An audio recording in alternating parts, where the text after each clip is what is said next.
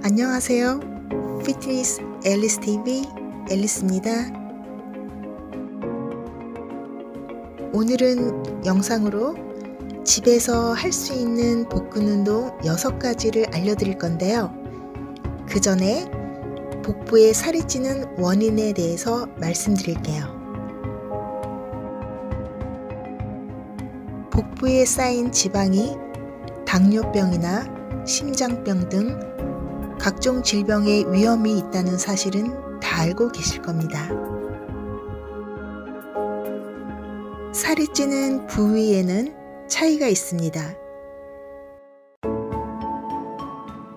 날씬한 몸매에 통통한 얼굴만 보이는 분도 있고 하체를 중심으로 살이 찌는 분도 있고 쉽게 살이 찌는 분들도 있습니다. 이것은 유전자의 영향을 받기 때문에 사람마다 다릅니다. 하지만 꼭 유전자 때문이 아니더라도 지방은 보통 살이 찌면 먼저 복부에 축적되는 경향이 있습니다. 앞의 영상에서도 말씀드렸다시피 단순 탄수화물을 함유한 식품은 특히 문제가 많습니다. 식이섬유가 부족하고 당분이 많을 때 인슐린 수치가 급격히 증가하여 칼로리를 지방으로 바꾸고 그 과정에서 뱃살을 증가시킵니다. 유전적 요인은 우리가 마음대로 바꿀 수 있는 분야가 아니기 때문에 결국 뱃살을 관리하기 위해서 운동뿐만이 아니라 식단 관리가 중요합니다. 정제된 탄수화물을 줄이고 채소, 과일, 곡물을 통해 섬유소 소비를 늘리면 뱃살 관리가 쉬워집니다.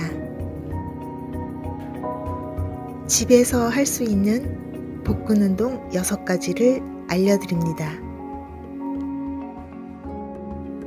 첫 번째 동작은 crunches입니다.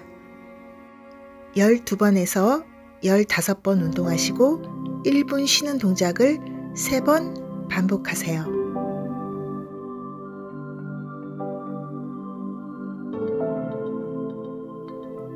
두 번째 동작은 straight arm crunches입니다. 12번에서 15번 운동하시고 1분 쉬는 동작을 3번 반복해 주세요.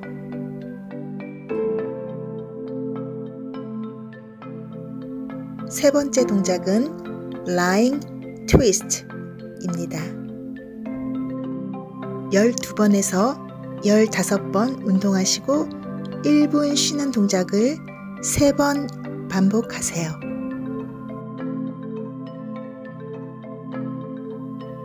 네 번째 동작은 seated floral kicks입니다. 12번에서 15번 운동하시고 1분 쉬는 동작을 3번 반복하세요. 다섯 번째 동작은 cocoons입니다. 45초 운동하고 1분 쉬는 동작을 3번 반복하세요.